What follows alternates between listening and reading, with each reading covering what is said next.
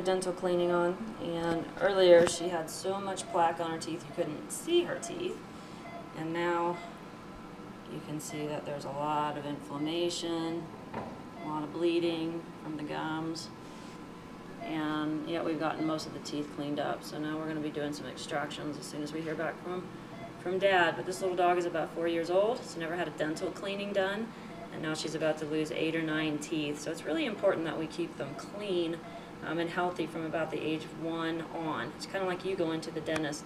If we keep them healthy, then we get to keep our teeth until we, we pass away. So dental cleaning is very, very important. That's Dr. Aimee Johnson with Creature Comforts Animal Hospital.